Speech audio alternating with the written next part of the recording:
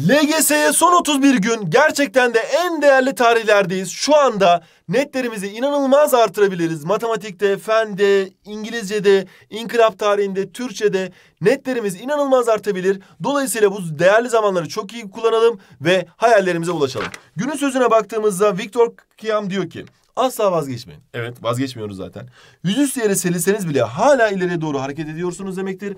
Dolayısıyla bak gerçekten güzel bir şey söylemiş. Yani şöyle ayaktasın tamam mı? Yüzüstü serildiğinde bile hala bak bu tarafa doğru gitmiş oluyorsun diyor. Bak buradan buraya gitmiş oluyorsun diyor. Yüzüstü yere bile serilsen hala ileri hareket ediyorsun demek diyor. Buradan demek istediği şey şu. Siz sınavlarda, denemelerde, işte evde çözdüğünüz e, tekrar testlerinde hatalar yapsanız bile Emin olun o hatalar yapmayanlardan daha öndesiniz. Ve sınavda inşallah sıralamalarınız hepsinden daha iyi gelecek. İlk sitesine sizler gireceksiniz. Y Fen Lisesi'ne, Z Anadolu Lisesi'ne, T Sosyal Bilimler Lisesi'ne sizler gireceksiniz. Niye? Çünkü çalışan kazanır, elması kızarır. Günün yorumuna baktığımızda bütün büyük işler küçük başlangıçlar olur demiş Çiçero. Gerçekten Çiçero yapmış yorumu galiba. Hayır pardon. Namı diğer ses 648 beğeni almış. Hemen cevaplarına geçmek istiyorum. Sınavda maske takacağız diye artı 10 dakika verme ihtimalleri var mı? Olabilir. Bununla alakalı Milliyetin Bakanlığı bir e, çözüm bulacaktır. Belki maske takmayacaksınız, belki takacaksınız ama maske takacakmışsınız gibi ara ara denemelerde kullanın diyoruz. Şu çok önemli arkadaşlar. Sınav anıyla alakalı gerçek denemeler çözmeniz sizin başarınızı artacaktır. Çünkü size sınavda bir e, deneme verecekler. Dolayısıyla o denemeyi alıp maskeli çözün, bazen maskesiz çözün ama e, muhtemelen maskeli çözeceğinize dair net bir açıklama gelirse bununla alakalı size uyarı verirler. Bu durumda da belki süre artırım yaparlar, belki başka bir çözüm bulurlar ama size mutlaka pozitif ayrımcılık yaparlar. Niye? Çünkü adamlar konuları azalttı. Yani müfredatı kısalttı, ikinci dönem konularını çıkardı. Kontenjanları artırdı. E daha ne yapsın? Başka e, tatili uzattı. Birçok şeyde destek oldu size. Dolayısıyla burada da destek olacaklardır. LGS sınav kağıdımızı kontrol ederken nelere dikkat etmeliyiz? Arkadaşlar LGS sınav kağıdınızı kontrol ederken sayfa sayfa gitmenin şöyle bir avantajı var. Mesela diyelim ki deneme başladınız. Sayısal bölümde açtınız. Sayısal bölümde ilk başta işte diyelim ki biyoloji e, şey fenle başladınız. Feni bitirdikten sonra diyelim ki fendesiniz. İkinci soru, birinci, ikinci soru yaptınız ya. Optik forma iki, ilk iki tıklayın. Sonra buraya geçtiniz. Sayfa sayfa gitmek yani. Çeviriyorum şöyle açtım. Açamıyorum. 3'e 4, 3'e 4 işaretleyin.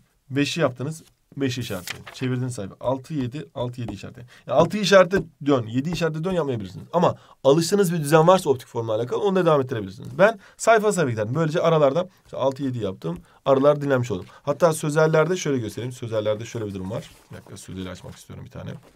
Sözel kısmı açayım. Bak sözelde bir anda 4, 5, 6, 7. 4 tane soru yapıyorsun ya. Sözelde bazı sorular kısa.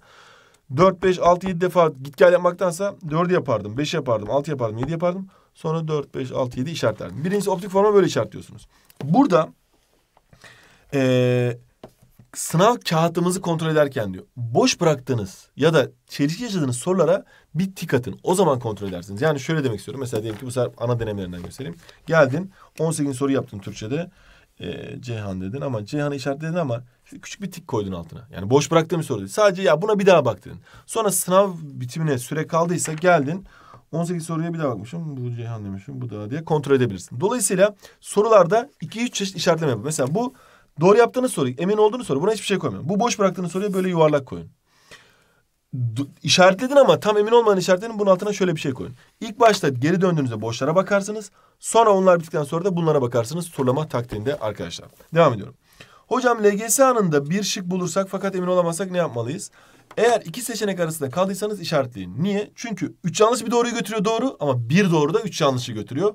O yüzden iki şık arasında kalırsanız işaretleyin ama dört şık arasında kaldıysanız işaretlemeyin. Yani bilmiyorsunuz demektir o zaman yanlış olur.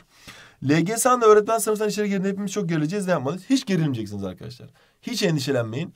O bir gerginlik olacak ama sonrasında bir iki tane soru yaptıktan sonra her şey düzelecek. Yani geldi hoca kitapçıkları dağıttı. Gerginlik, gerginlik, gerginlik. Hemen kitapçığınızı aldınız ya sözleri. Şöyle bir tane yapabileceğiniz soru bulun şöyle bakayım bakalım. Bu parça boş bırakılan yer aşağıdaki atasözlerine getirilmesi en uygundur. Atasözleri ben biliyorum. Başladı. Ha, gülü seven dikene katlanır diyor. Oh tamam bunu Deniz yaptığın an bir tane doğru işaretlediğin an mutlu olacaksın. Ve zaten bir tane doğruyu da bulursunuz işaretlersiniz. Hiç endişelenmenize gerek yok. Ama o bir tane doğru işaretleyinceye kadar böyle acaba acaba ne olacak dersiniz. Hani yüzmeye havuza girmeden atlamadan önce bir tedirginlik yaşarsın şöyle yüzme bilsen bile. İçine girdikten sonra hoba oh ne güzel geçer gidersin. Aynı onun gibi. Ee, Korona sebebiyle öğrenemediğimiz konuları lisede işlerken zorlanır mıyız? Hayır zorlanmazsınız çünkü Tonguç Akademi burada sizlere hepsinin temelini vereceğiz arkadaşlar. Zaten Milli Eğitim Bakanlığı bununla alakalı telafiler yapacaktır. Karneler nasıl alınacak? Bununla alakalı da Milli Eğitim Bakanlığı size en doğru şekilde muhtemelen elektronik posta yöntemiyle e-okul üzerinden verecektir. Çalışmamı sıklaştırıcı konularım eksiksiz olduğu halde netlerim düşüyor. Ne yapabilirim? Hiç endişelenmeyin. Netleriniz düşüyor gibi duruyor. Esasında düşüyor, artıyor, düşüyor, artıyor, düşüyor, artıyor, düşüyor, artıyor. Ve gittikçe yükseliyor. Bak şuraya dikkat edersen bir yükseliş var. Sınava girdiğinizde inşallah en iyi denemenizi yapacaksınız. Yeter ki çalışmaktan vazgeçmeyin. Yeter ki yanlışlarınızın analizini yapın. Yeter ki örnek soruları güzel güzel çözün. Yeter ki sıkı sıkıya çalışın ve son bu bir ayı çok iyi değerlendirin.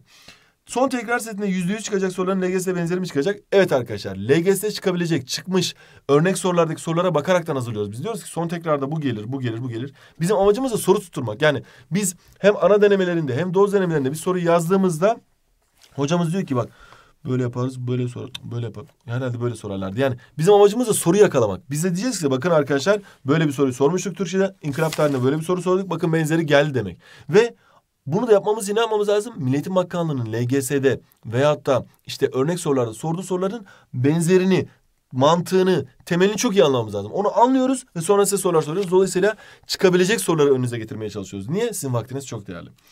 Ee, kaynaklarım çok az nasıl çalışmalıyım? Eğer kaynaklarınız azsa arkadaşlar şöyle bir şey yapabilirsiniz. Örnek soruları çözebilirsiniz. İnternette var. LGS sorularını çözebilirsiniz. İnternette var.